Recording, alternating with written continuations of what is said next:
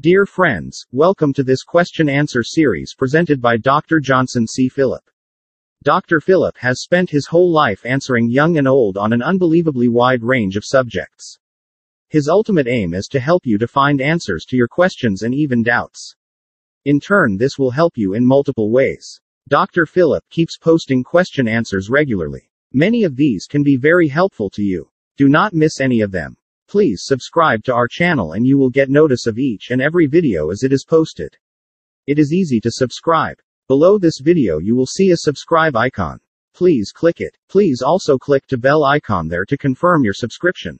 That is all. You will never miss any of these life transforming videos. God bless you. Um, before we launch into our subject, one or two announcements. Number one, Brethren Theological Institute now has classes in Hindi, Malayalam, English. Hindi we have on Sunday, which is slightly light, mostly Bible exposition. Monday we have real serious studies, and these days Dr. Saneesh Cherian is covering tribulation. Tuesdays we have English, and Lord willing, from tomorrow, we launch Hindi once again. This is uh, in conjunction with Gospel Hall, and uh, the classes will be slightly heavy. I invite everyone who understands Hindi to join them, and tomorrow, Lord willing, in Hindi, we will start bibliology, Bible and bibliology. That is the first announcement. The second one, I have been mentioning many resources here, but because of a number of reasons, I have not been able to post information about those resources.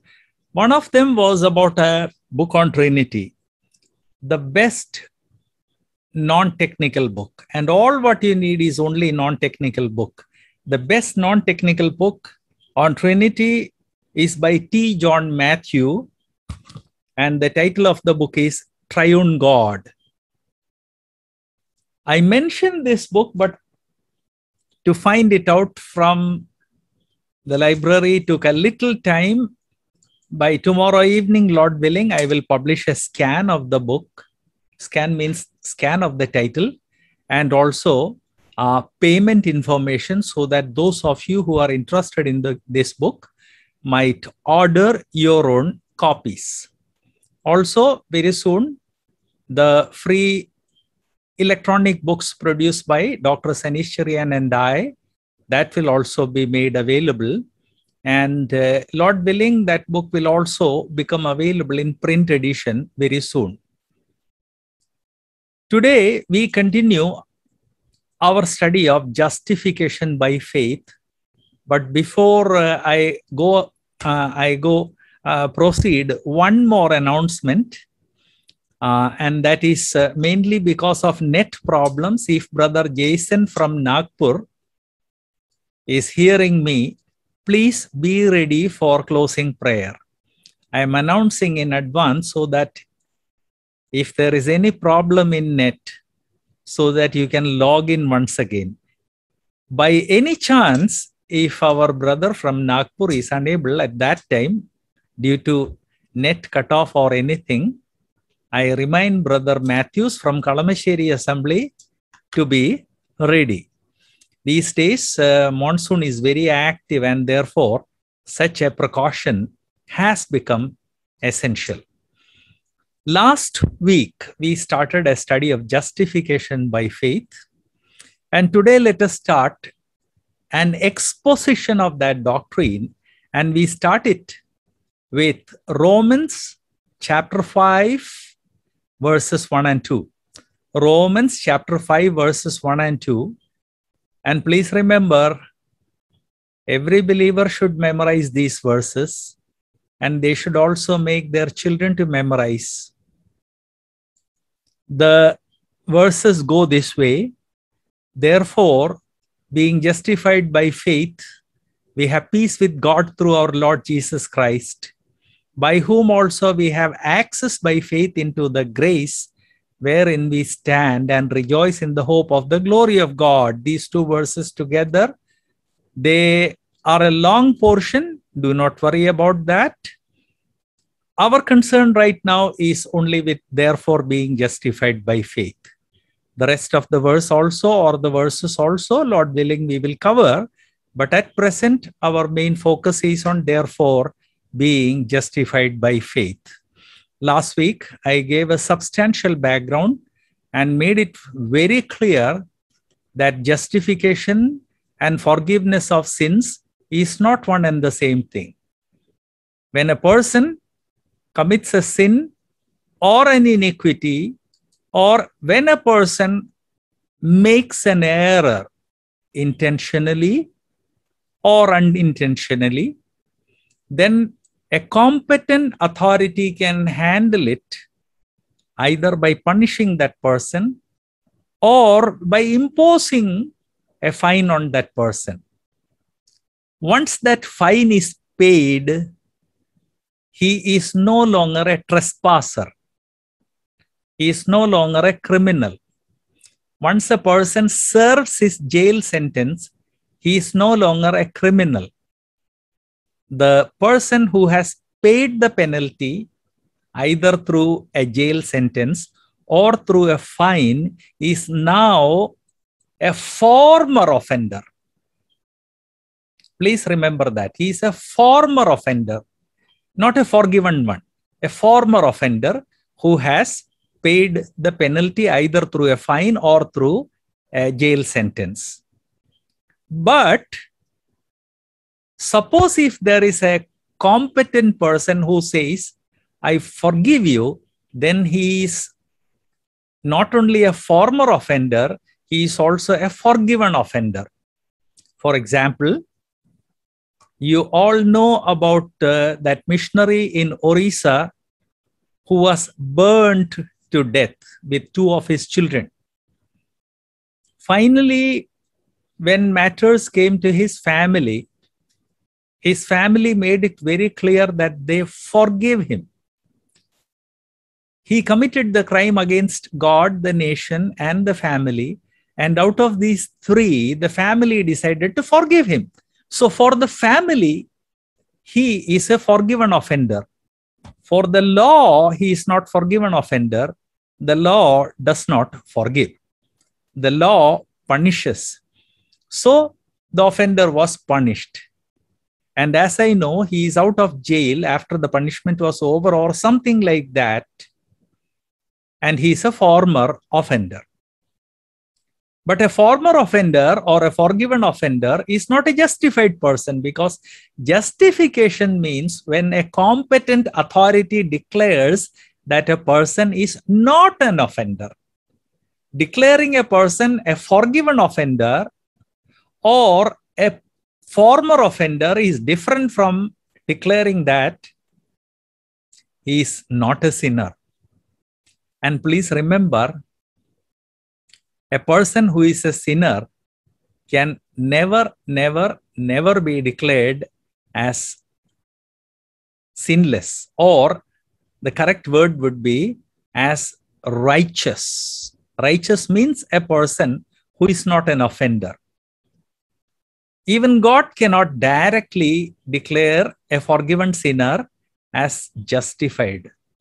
When we go to the cross and when we accept Lord Jesus as our personal Savior, God forgives us. That's not justification. And God cannot declare us as justified. We are forgiven sinners. So, how can God declare us as justified or people who are not sinners. But that is God's ultimate aim. And because of that, God finds a way to justify us. And that is justification by, uh, by faith. And we are going into details of that. But there is a barrier, particularly when man tries to be justified in, in the eyes of God. And the biggest barrier is our own sinfulness. Isaiah 64 6. Isaiah 64 6 says, But we all are but we are all as unclean things, and all our righteousness are as filthy rags, and we all do fade as a leaf. And our iniquities, like the wind, have taken us away. So, all our righteousness in front of God are as filthy rags. So, suppose a person spends all his life as an ascetic, a man who has renounced everything, as a sannyasi. And suppose he spends all his life as an ascetic, standing on one foot, going around without any clothes, or anything like that. I, I had given you examples of sannyasis who had raised their hands and which had become useless. Once in uh, uh, Malayalam classes, I mentioned a sannyasi, all from Gwalior, my hometown, who had hung his tongue out. And he would not drink any, he would not take any solid food. And the tongue, which was hung that way without moving for many years, had become frozen. He was unable to talk, he was unable to eat. And for these people, all of these things were works of righteousness. Now, suppose one of them comes to Lord Jesus, accepts Lord Jesus as his or her savior, he is forgiven. Now, using their works, can God declare them as righteous? The answer is no. Two reasons are there. Number one, all our righteousness is like filthy rags to God, and therefore all what they did is like filthy rags, so God cannot use it. And number two, a person who is a forgiven sinner, he cannot be declared as righteous anyway. He can be declared only as a forgiven sinner. So that is a problem. And I'll mention a few verses. Please keep them in mind and please note them into your diaries the scripture in Romans 3:10 also reminds us that no human being is righteous. The scripture in 1 Corinthians chapter 6 verse 9 declares that the unrighteous cannot inherit God's kingdom. So, forgiveness of sins is not sufficient. Please remember, when we study, actually, uh, dispensations in great detail, when we study eschatology in great detail, and when we study the standing of a believer, the state of a believer, and the future of a believer, when we study all these things, it becomes very, very clear that the unrighteous cannot inherit God's kingdom. Forgiven sinners also are only on their first step. Many more things have to take place before they become ready to inherit God's kingdom. Unfortunately, though the gospel of salvation by grace through faith is declared very often in our churches, evangelical and conservative churches, unfortunately, the other aspects are overlooked. And one of them is this that salvation is only the first step, and God has to do many, many more things for us to make us worthy to inherit God's kingdom. First Corinthians 6 9 very clearly says, unrighteous cannot inherit it. How, do, how does it happen? Actually, hints about exactly how sinful mankind and forgiven sin, sinners can be justified. These things are scattered in many places in new testament. I have gathered a few of them for teaching in this class but please remember this is not a residential bible school in a residential bible school probably all these verses would be listed to students or they would be asked to go to a such and such textbook and read for them or pick up a concordance and find out for themselves. I am mentioning or I'm listing only a few sample verses. So the scripture says that God will give us his righteousness apart from our works because our works are like filthy rags. God, the very God him, himself will give his righteousness to us as a gift if we believe in him. We find this in Romans chapter 4, verse 6. You might notice that there is an abundance of references from Romans. There is a reason. Among all the epistles which God the Holy Spirit gave to New Testament church, Romans has a very heavy focus on justification by faith. And in fact, the Protestant Reformation started when one scholar, one monk, one Roman Catholic monk kept on studying Romans. He kept on studying him. And this phrase, justification, justification, justification, repeatedly impinged upon his mind, but he was not able to get a breakthrough. And therefore, he kept on reading. And finally, one day, he realized that justification is by faith. He understood the mechanism of exactly how God does it. And that was the birth of the Protestant movement. This monk, Roman Catholic monk, was Martin Luther, who finally wrote 95 statements known as 95 theses and nailed it nailed it to the door of his his mother church lot of things happened after that but that was the uh, when he understood this verse that was the beginning of protestant movement and when he nailed it that was the visible beginning of the protestant movement. Romans chapter 4 verse 6 says even as david also describes the blessedness of the man unto whom God imputes righteousness without works.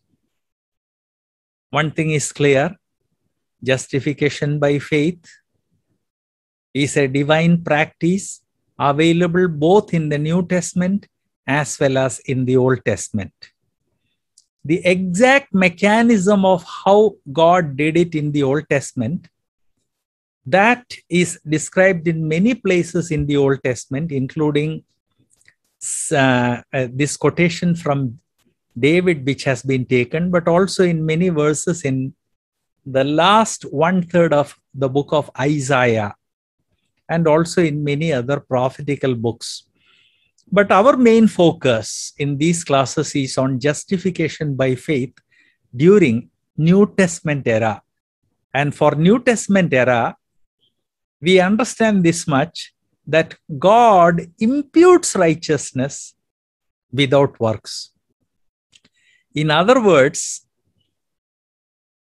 our works are not taken into consideration because they are like filthy rags.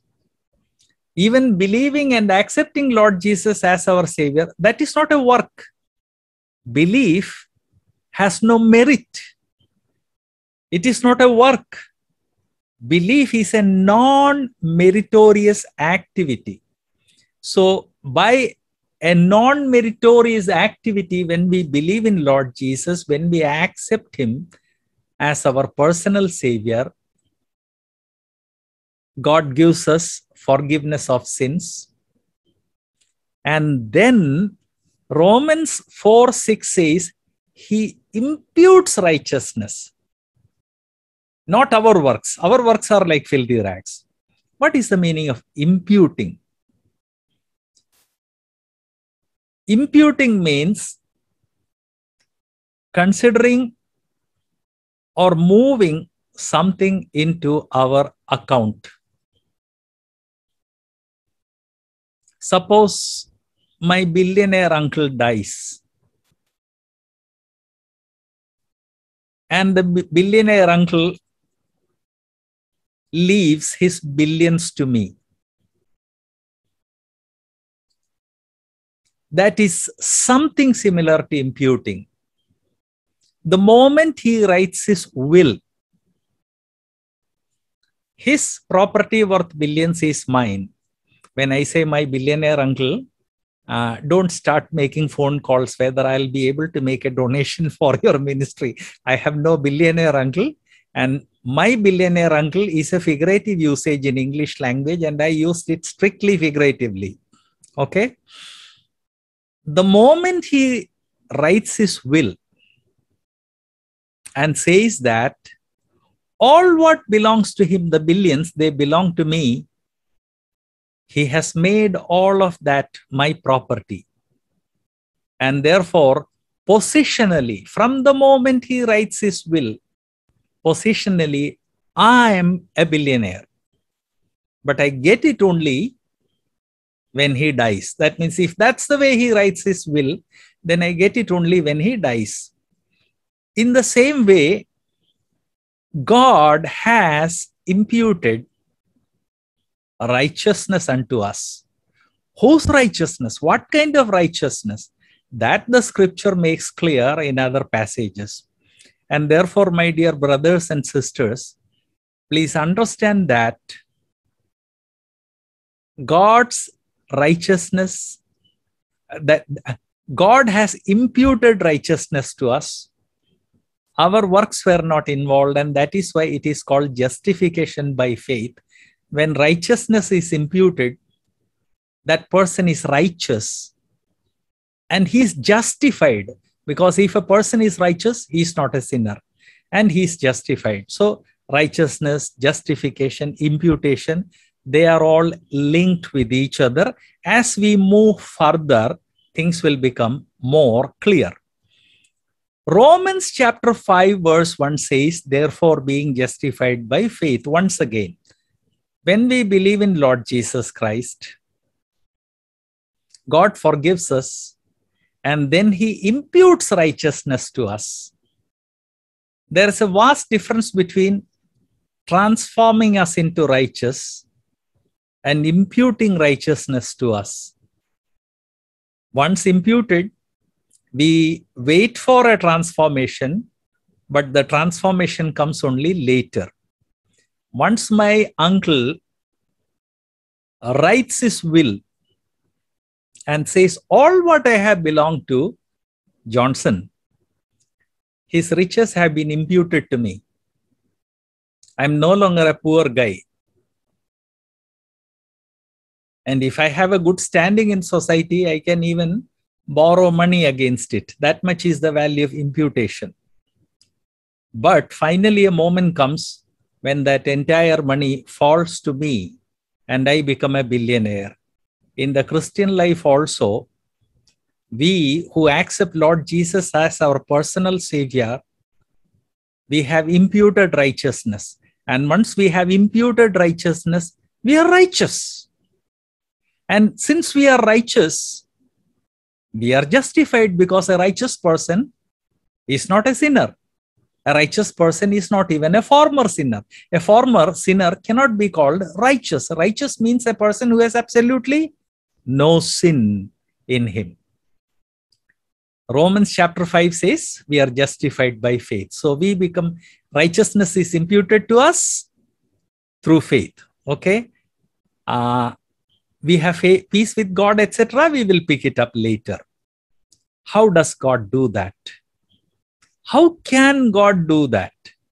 And how does God do that? As we sift and sort through verses in the Bible, we come across a number of verses which make the subject more clear. One of them is 1 Corinthians 6 15, first portion. Surprisingly, this verse is talking about some other verse, some other subject, but it throws light on how God can impute his righteousness to us. First Corinthians 6:15 first part says, "Don't you know that your bodies are the members of Christ?" Actually, that chapter goes on to speak about immorality. That's not our subject. We want to consider this fragment. Don't you know that your bodies are members of Christ? What does it mean? This is a reminder that at the moment that we accepted Lord Jesus as our Savior, God the Holy Spirit took us and united us with the body of Christ so that we are members of Christ. Once we are made members of Christ, many, many more things take place there. As I have reminded many times, at the moment of salvation, we think only of forgiveness and everlasting life. But at the moment of our salvation, more than 40 things take place. And Lord willing, someday we will be able to cover all those 40 things in a very systematic study. So all these 40 things that takes take place simultaneously, but chronologically. There is a difference.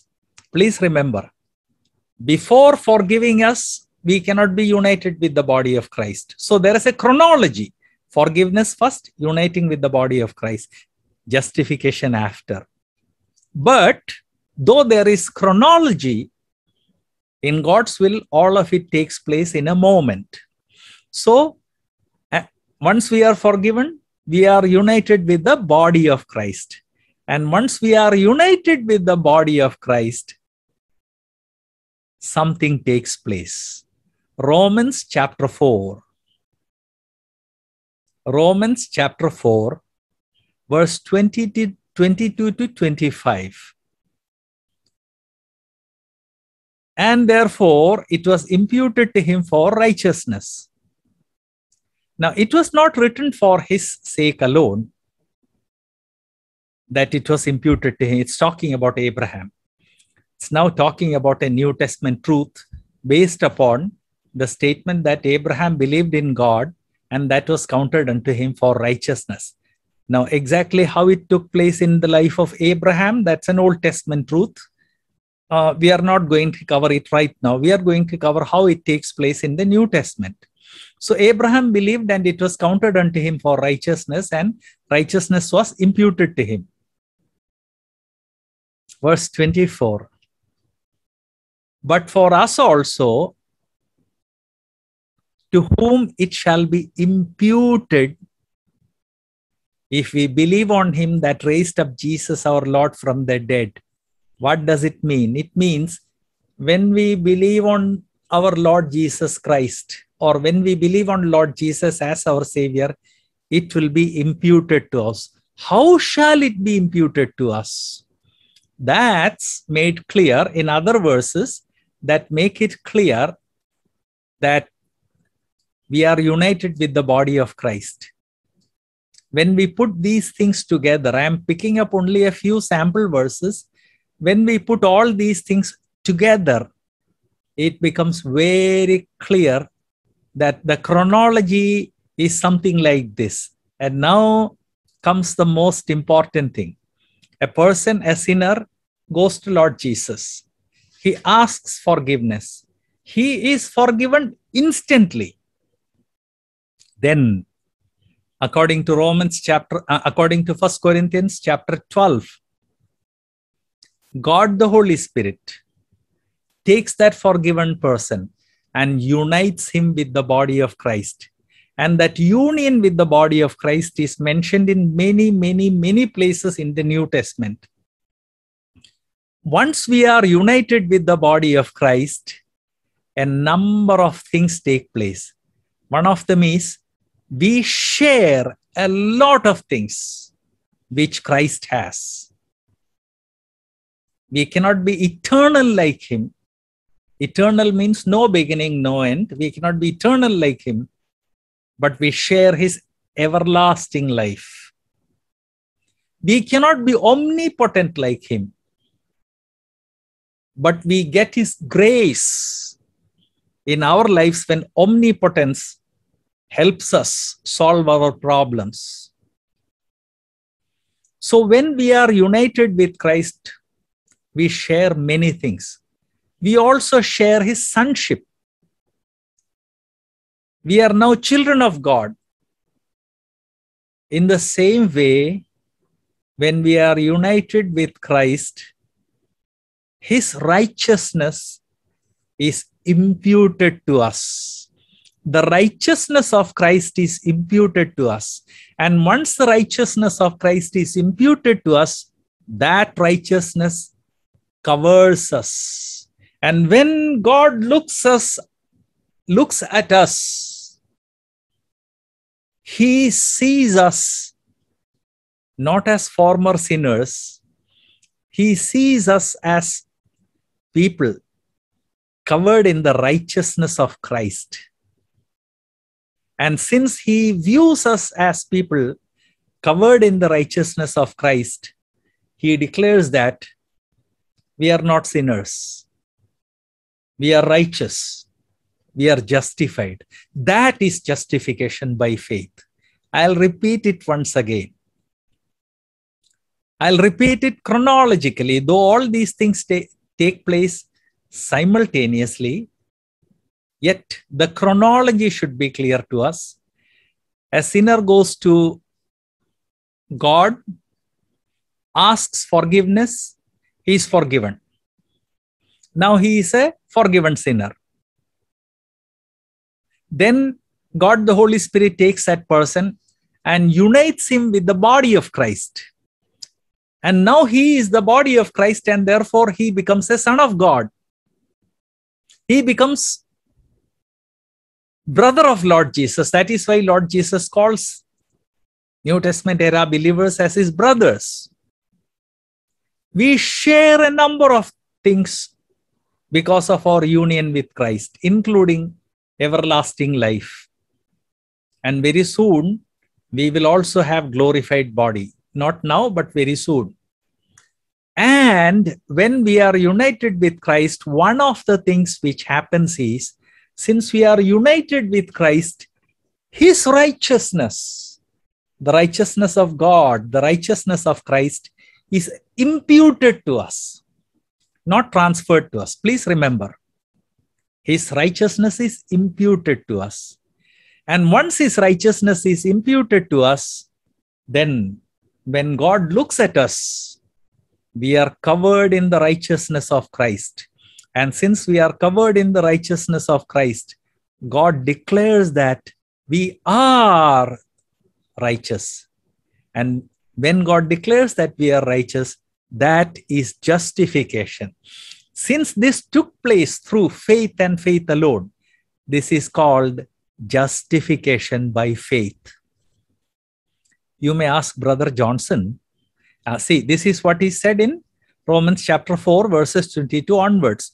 You may ask Brother Johnson, hey, why, why is it such an important doctrine? Or why did it become such an important doctrine in uh, which gave rise to the Protestant Reformation? That should also be clear to you to know the significance of this doctrine. Justification by faith is a fatal doctrine for every group which wants to exploit people. Every group which wants to exploit people, they keep on telling you offer sacrifices. I mean, bring the money to the church. You offer penance, bring the money to the church you offer tithes to the church. You do this, you do this, you do this. And then you will be justified. In fact, there was a very crooked guy, and if I remember the name correct, his name was Tetzel, a Roman Catholic, extremely cunning priest. He said he started selling what is known as certificates for justification. Just buy this certificate and you are justified. This way church was gathering money. Actually they needed a few millions and he found out this method. A lot of people resented but they could not do anything against it So, this was all the background. My dear brothers and sisters, when God declares a person justified, he declares it by faith, and somehow or other, every church which wants to exploit people has to hide it. Roman Catholic Church says that if a person has to be justified, he has to undergo their seven sacraments. If you go to a cult like Seventh Day or Jehovah Witness, they will say that you have to believe in Lord Jesus, you have to be baptized, and then you also have to do works. Then only you will be justified. You go to Jesus only, they say you have to be baptized in the name of Jesus, and then you have to do works. That teaching is now coming among the brethren also. The original Pentecostals had a similar teaching. Present day Pentecostal churches, they have uh, many, many of them. Though the common man, common Pentecost, Pentecostals don't know it, uh, but many Pentecostal churches have already revised their doctrines. I'll come to that later. Modern day Pentecostal movement, which started around 1905, made it very clear that you have to accept Lord Jesus as your personal Savior, and then you have to tarry. And you have to tarry and obtain the Holy Spirit through your effort. Please remember, through your effort. And so many kinds of uh, programs were invented to obtain the Holy Spirit via tarrying. And when you obtain the Holy Spirit through tarrying or tarrying meeting, then only you will be saved or justified. So that was original Pentecostal doctrine was again um, something against justification by faith. But Assemblies of God, AG, was the first Pentecostal church which completely revised that statement in their statement of faith. And now, one by one, many, many Pentecostal churches have started revising it. But unfortunately, common man and pastors, they don't see these statements of faith. And therefore, they keep on teaching that you have to accept Lord Jesus as your, as your Savior, and then you have to tarry and obtain the second blessing. Not that you get it by grace, you have to tarry and get it. For that, fasting is prescribed. A lot of things are prescribed. I even had a book in my collection written by one Mr. Styles, where he teaches people how to speak in tongues. He says, You hang your tongue like a dog and repeat any word endless number of times. This is all faith plus works the scripture makes it very clear that it is faith plus nothing else. All the cults teach faith plus works. They are robbing people of the doctrine that it is faith and faith alone and nothing else. In the last 25 years, many brethren people also have started teaching that. I know of a number of brethren people who say you have to accept Lord Jesus Christ and then you have to do this, this, this, this, this, this. Then only will you be saved. That is a complete violence with the doctrine of justification by faith. The scripture is very, very, very clear that we are justified only by faith and the chronology, let me tell you once again, the chronology is like this. A sinner goes to Lord Jesus, accepts him as his savior, asks for forgiveness, accepts, accepts him as his savior, he is forgiven. The moment he is forgiven, God the Holy Spirit takes him and unites him with the body of Christ. And the moment he is united with the body of Christ, he becomes one body with Christ. And therefore, he shares a lot of things which Christ has, such as sonship, such as everlasting life, and many other things. One of those things is the righteousness of Christ. That righteousness is not transferred to us. Please remember, righteousness of Christ is not transferred to us. Rather, it is imputed to us. Imputed means it is considered as part of ours. Malayalam has a good expression for that. കണക്ക് ആക്കപ്പെടുക യേശുക്രിസ്തുവിന്റെ നീതി നമ്മുടെ നീതിയായിട്ട് കണക്കാക്കപ്പെടുന്നു അത് നൽകപ്പെടുകയല്ല നമുക്ക് നൽകപ്പെടുകയല്ല കണക്കാക്കപ്പെടും so the just the righteousness of Christ is imputed to us. It is considered as our righteousness. And that righteousness covers us. When God looks at us, he sees us behind that cover.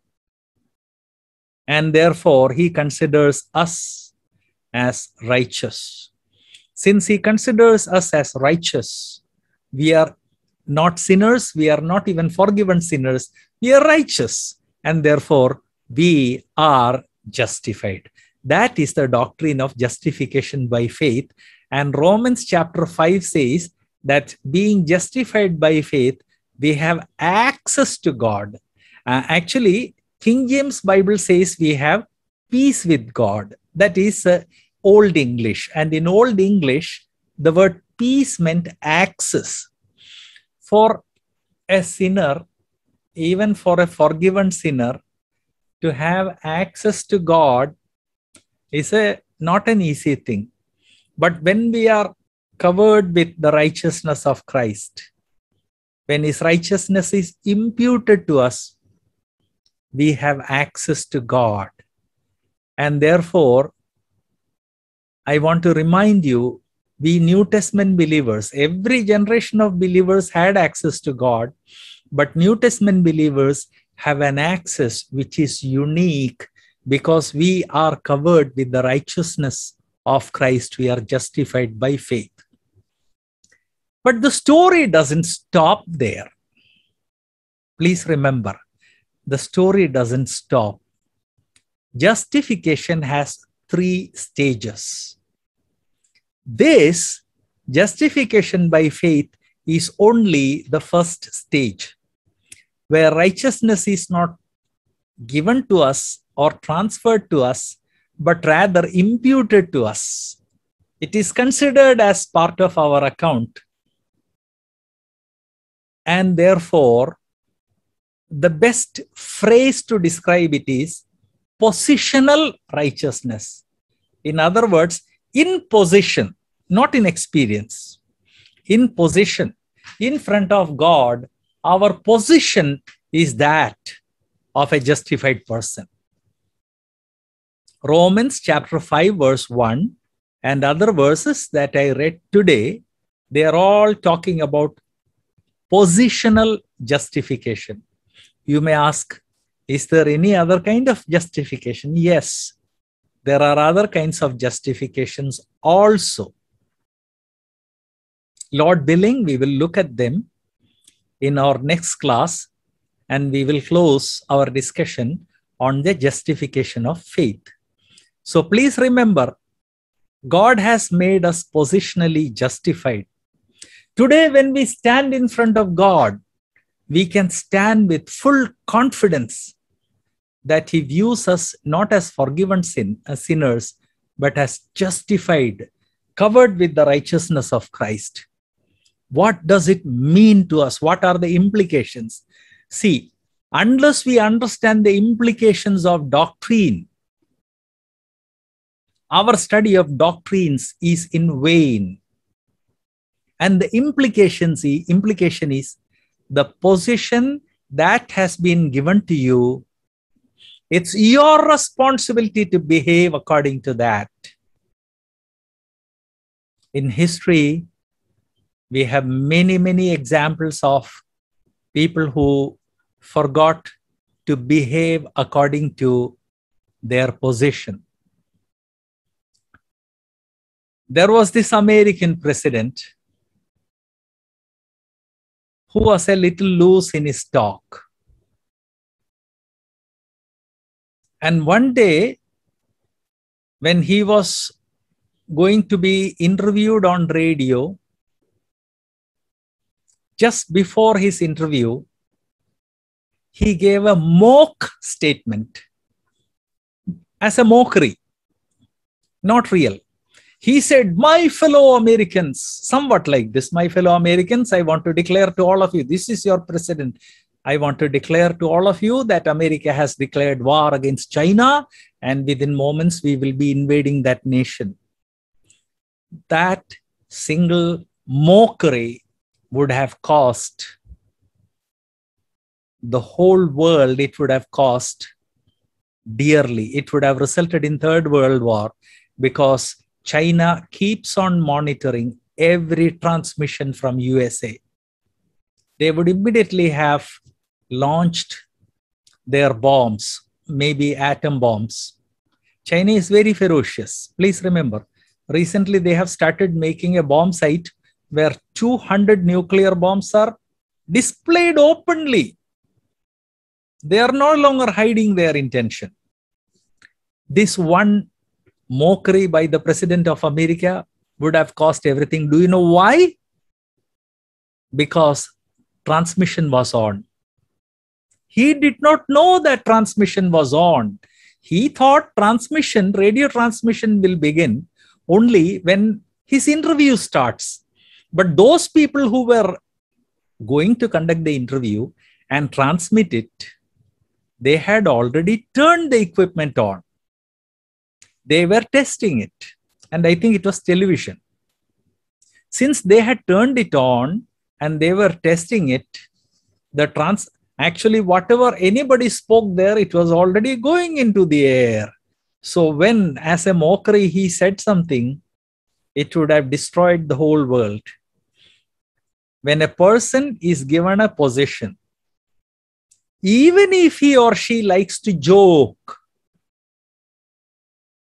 he or she should be careful not to be loose in their talk.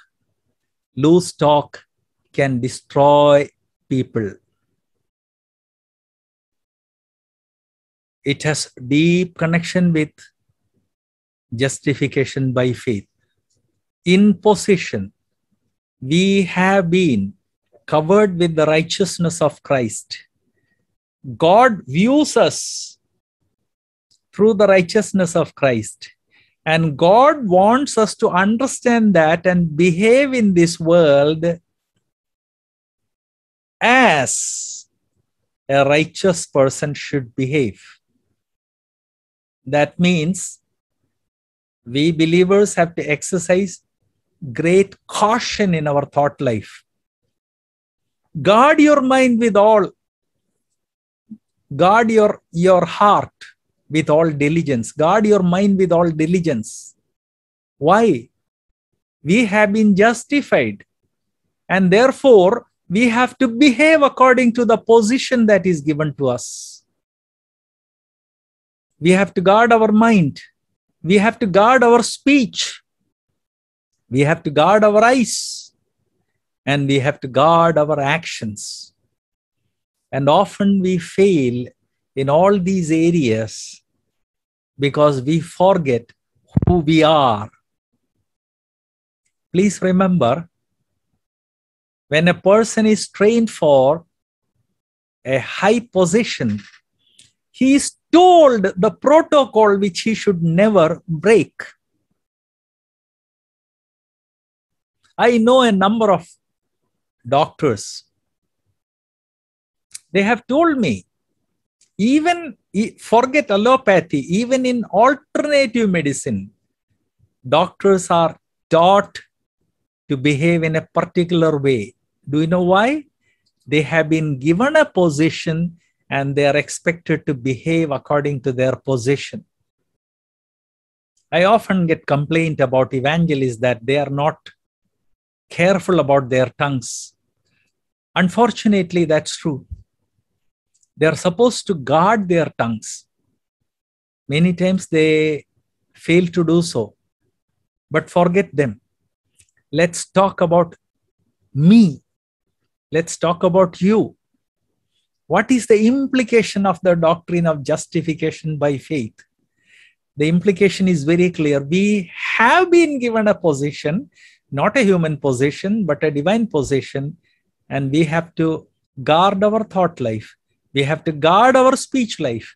We have to guard our practical life so that we reflect the life that God expects from a justified person and also the world ex- expects from a justified person. You may ask, world? Yes. Though the world doesn't know the doctrine of justification by faith, they know one thing we are different. And since the, we are different, we ought to behave in a different manner. My dear brothers and sisters, this doctrine was suppressed for hundreds of years because if the church has to exploit you, it has to tell you to work. But if you are told that you are justified by faith, the church will lose all the revenue that it can get from you. The priests cannot oppress you or suppress you, they cannot exploit you. That's why the Roman Catholic Church, many other churches, and cults hide this doctrine. And precisely that is the reason why now many, many brethren preachers are also trying to suppress that doctrine so that you are enslaved so that you can be made a slave of their whims and fancies. Please don't fall into that trap. Lord willing, we will complete our study of justification by faith in our next class. Dear friends, I am confident that you enjoyed listening to this question answer video by Dr. Johnson C. Philip. He would love to get your questions. Please post your questions in the comment box below this video and he will prepare a video reply for you. Please post only one question at a time, and make it as detailed as possible so that Dr. Philip has no problem in understanding exactly what you mean. Also, please encourage this ministry by subscribing to this channel. Below this video, there is a subscribe button. Please click it. Also please click the bell icon near it to complete the process of subscribing. Thank you very much for being such an encouragement to our channel.